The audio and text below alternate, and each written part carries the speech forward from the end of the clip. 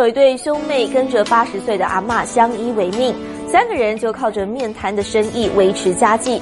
好在呢，这对乖巧的兄妹除了上下学的时间，都会陪在阿妈的身边鼓面摊、打理家务。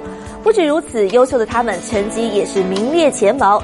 妹妹的成绩优异，甚至还入围了今年的总统教育奖。好几饭来，动作利落迅速，驾轻就熟。乖巧懂事的于轩，从六岁开始帮着阿妈顾面摊，这样吃苦当吃补的模样，让阿妈看了心疼又窝心。我这两囡仔对咱菜，对我这样的太美啊！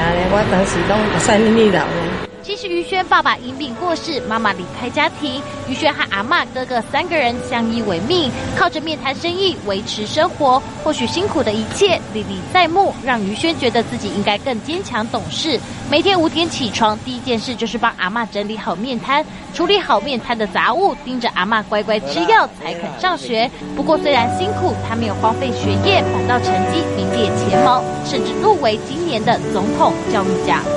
为什么要帮阿妈做做这个事情？